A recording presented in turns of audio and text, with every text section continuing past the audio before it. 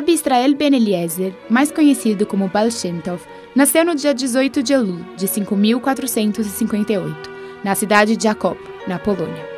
Fundador do Hassidismo, Baal Shem Tov mudou-se para a cidade de Mezibush, onde começou a ensinar publicamente as doutrinas da Hassidut.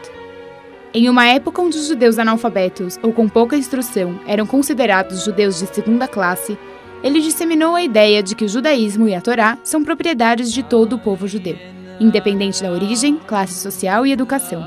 Qualquer judeu é capaz de servir a Deus. Mostrou que a devoção e a crença em Deus eram essenciais para a vida de um judeu. A alegria no cumprimento de um mandamento e calor e afeição no trato com os outros é a característica primordial do racidismo. Grandes rabinos e eruditos mudaram-se para Mezibush para se tornarem seguidores de Baal Shem Tov. Estes ajudaram-no a divulgar suas crenças e, com isso, o movimento racídico espalhou-se por toda a Polônia. Rabbi Israel Baal Shem Tov faleceu no primeiro dia de Shavuot, aos 62 anos.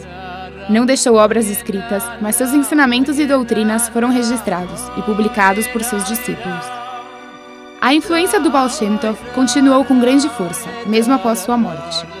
Atualmente, mais de 200 anos após a morte do Baal Shem Tov, o movimento racídico constitui uma das maiores forças do judaísmo ortodoxo.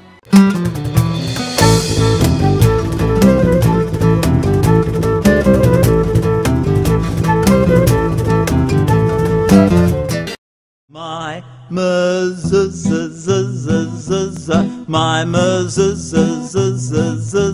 my my. E é assim que você deve prender sua mezuzá no umbral da porta.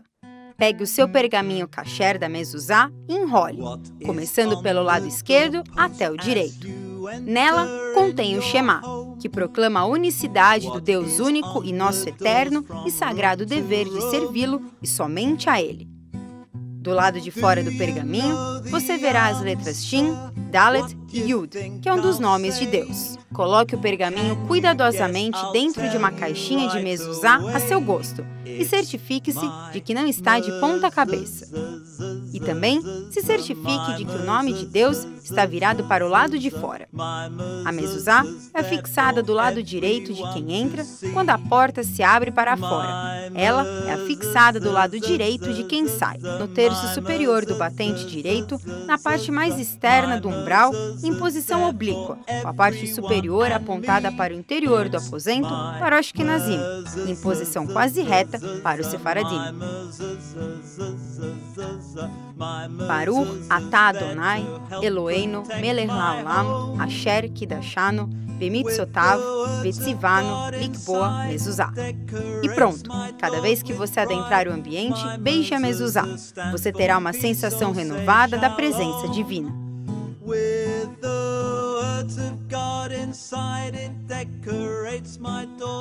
Pride, mezuzah peace, so say shalom. You know the answer, it's a symbol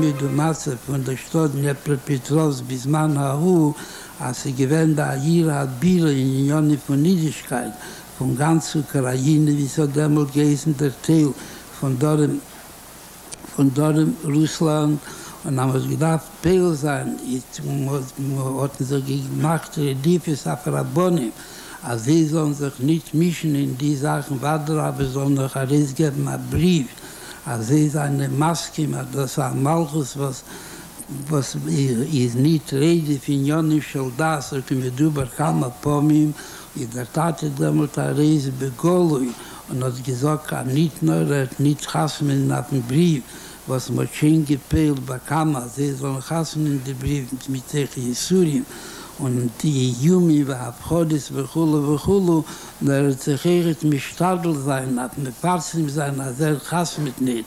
Und bei was Chas mit er nicht, der Fall, was er weiß, und alle wissen, der, und alle wissen das.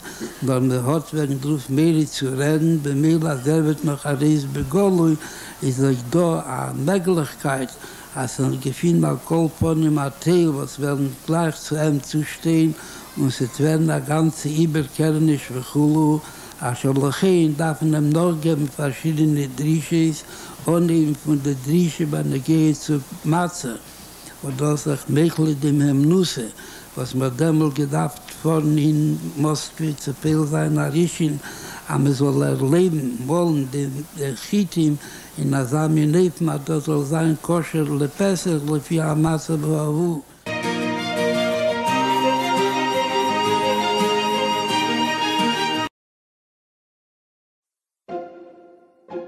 Mommy, can I share something? But promise you won't get upset. Of course. Um, I'm not sure I really believe in electricity. Why, my love? Well, where is he?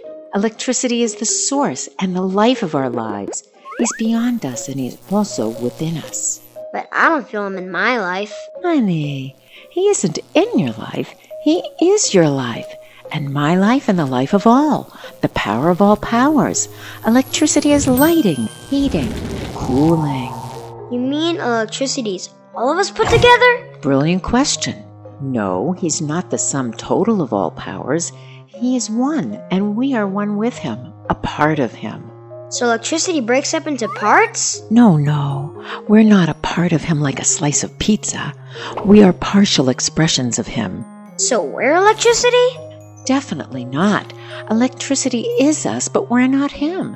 He's infinitely greater than us all. He is forever one and only, and yet through each new electrical device, another limited aspect of electricity is born into the world.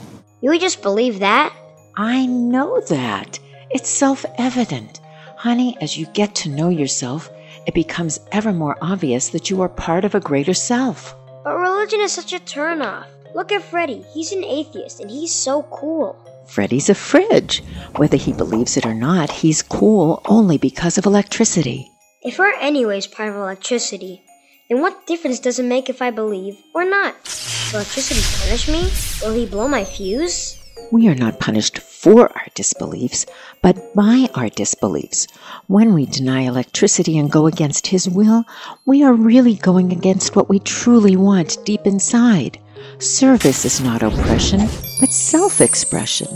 Is that why Kobe the Cook machine had a sign on him that said out of service? Uh huh. Mommy, what happens to us when we die? Is there light after death? We never die. We just get unplugged and return back to electricity. Huh? Sweetheart, we're not lamps. That's just our bodies. We're light. We come from electricity, and to Him we return. Well, what about bad guys? They do evil, but in essence, they're not evil. They're just really confused and do bad because they think this is my power and my strength, and I can do what I please. Well, what happens to them when they die? You mean unplugged? Oh, yeah. Evildoers are in for a big shock. They too will discover how all along they were a part of him and actually wronged and betrayed their own self. Mom, one more question? No, that's it. This really isn't light bedtime conversation. But I'm so turned on. It's time to get some sleep. Good night, my bright boy.